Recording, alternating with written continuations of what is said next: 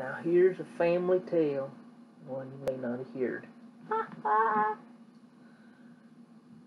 they used to, and it ain't make this sense this time. They used to make that that uh, ribbon jello salad. Man, I love that. It takes three days to make it. it. Takes forever to make it.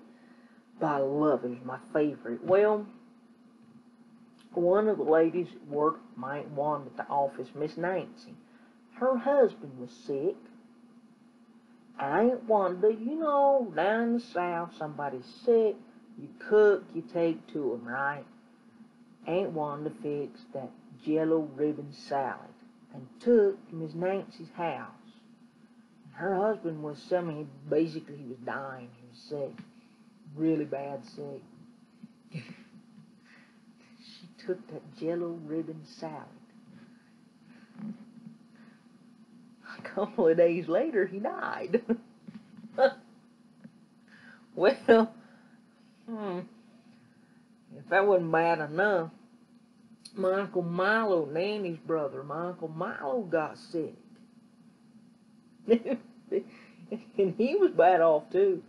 And, you know, anything else, he was just old. But Aunt Wanda made that jello ribbon salad and took that a couple of days later, he died.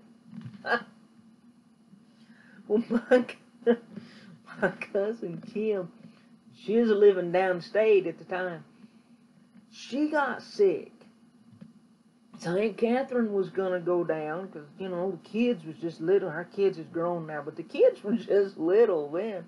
That's been a few years ago.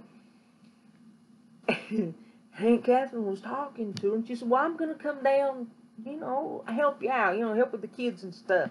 And she said, "I'm gonna tell you right now, Mama, you're not gonna bring none of that damned old cussy ribbon jello salad down here." Everybody you fixed it for's died. You're not bringing that mess down here. Don't you dare bring it. Of course, she didn't. Hey, you know they ain't made that ribbon jello salad since. That was my favorite dessert, and they made it since.